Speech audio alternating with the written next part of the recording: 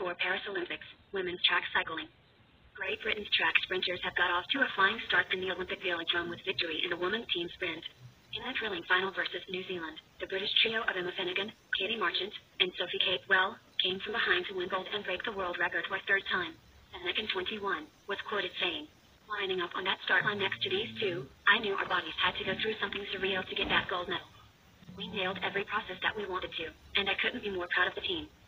Looking up at the crowd and seeing everyone cheer, I was just in disbelief that we actually won and crossed the line first. It really does not get much better than that. It shows the hard work we have put in. I always believed there were rewards for hard work.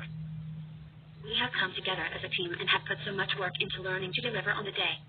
I literally saw Ed. Katy delivers the first lap.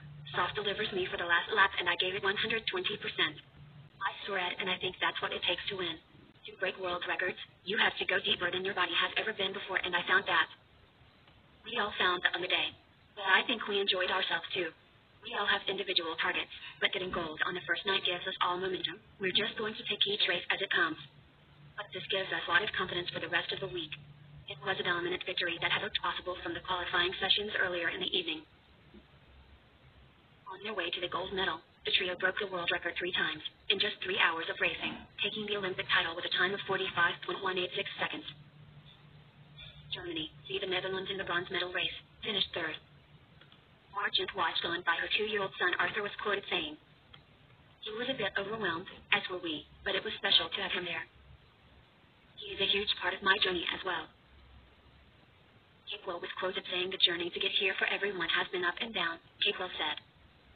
I've had my own personal battles. I wish my late father Nigel was up in the stands watching it, but I know he's super proud of me. He was a Paralympian. He warned his daughter, don't settle for fourth. The high-speed sprints predicted on the wider track materialized. As time after time the world team sprint record fell, first to New Zealand, then Great Britain and Germany, before the British trio broke it again with a time of 45.338. As it turned out, there was still even more to come. The three sprinters celebrated their gold medal. In other action, the men's 4,000 meters team pursuit qualifying Australian quartet of Oliver Bleddyn, Sam Welsford, Conor Leahy, and Kelland O'Brien were fastest. Thanks, legends, and I hope you are all well. Don't miss a moment from the sports that you follow. Help us to bring you the best content possible. Subscribe, share, like, and vote in the community polls.